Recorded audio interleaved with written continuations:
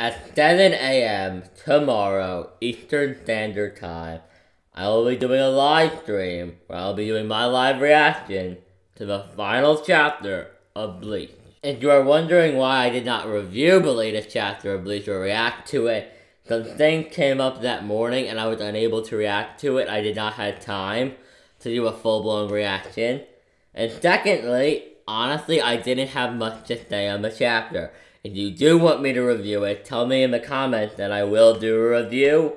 But who knows? I, I don't have anything new to say on it. So there was really no point in me making a review. I had nothing to say. But tomorrow is the final chapter of Bleach. Because the rumor is the chapters are coming out early tomorrow.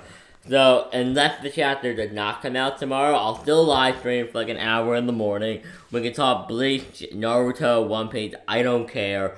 But uh, I will still, I'll probably stream for like an hour tomorrow morning. I don't know. We'll cross that bridge when we get to it.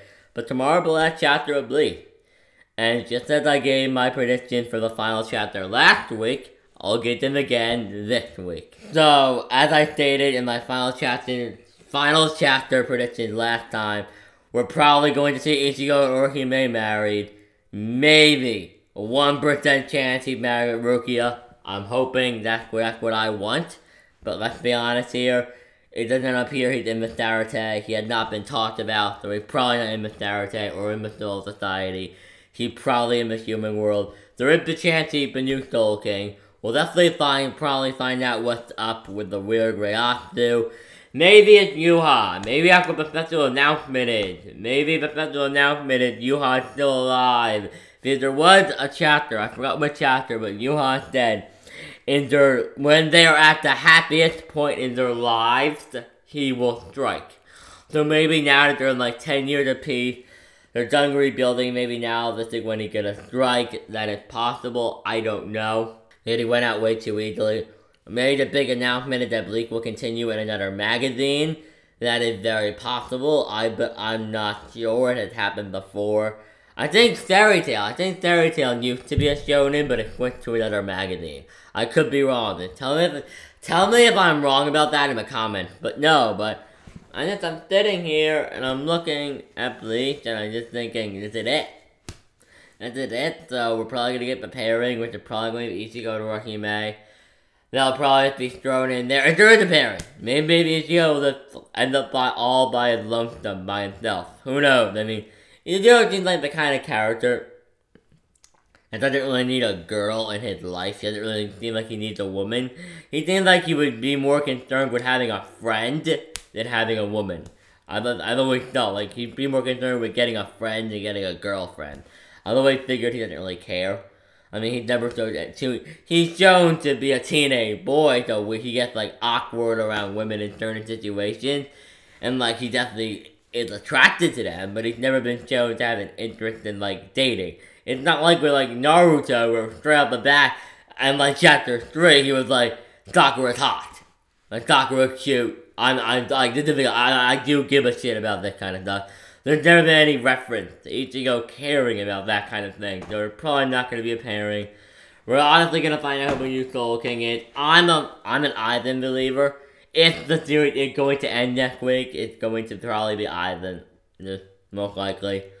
I think that makes the most sense. You know that when he was adored by Yhwach, he like retook over and using Mahokyoku, he like adored that part of the Soul King or some shit like that. I mean, that's the most common theory, not what I think makes the most sense. But, I mean, I'm, I'm trying to think, what else is there really to address? Maybe, maybe we'll address what happened to Chad. Because last time I checked, Chad was fighting an army of undead soldiers. So yeah, maybe or maybe Chad is still there in the bond in the Soul Palace, fighting an army of undead soldiers. They will cut to Chad. He'll be like a, he'll have like a long gray beard like Gandalf or Dumbledore, and he'll be like fighting off this like army of soldiers. That would be awesome. It would be hilarious. We'll probably see what happens to Uryu. We'll see what happens to Ichigo's sister.